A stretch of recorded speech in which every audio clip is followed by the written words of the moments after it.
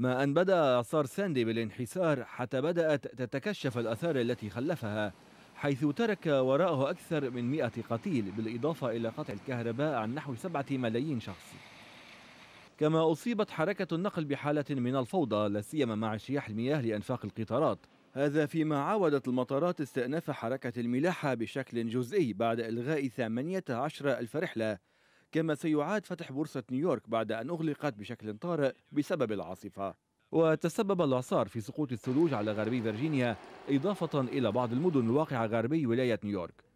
وقال عمدة المدينة مايكل بلومبرغ إنها عاصفة مدمرة وربما تكون الأسوأ على مر التاريخ وأن الأضرار التي لحقت بمترو الأنفاق لا سيما في نيويورك هي الأكبر منذ 108 عوام سياسيا وبعد توقف الحملات الانتخابية قسرا أتاحت الأزمة فرصة لأوباما لا يظهر قدراته الرئاسية وهو يشرف على استجابة الحكومة.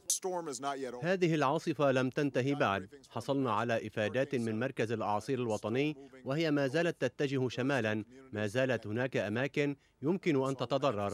توجيهاتي للوكالات الاتحادية هي لا تفكر في أننا لا يمكننا القيام بشيء بل فكروا في كيفية القيام به.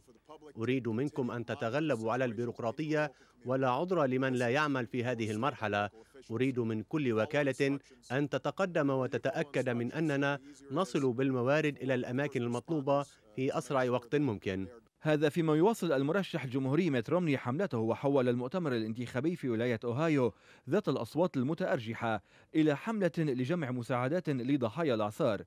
وتقدر تكلفة تنظيف مخلفات العاصفة بنحو 40 مليار دولار وهي أقل من تلك التي خصصت عقب إعصار كاترينا عام 2005 والذي بلغ 100 مليار دولار على الرغم من أن ساندي أصاب مساحة أوسع.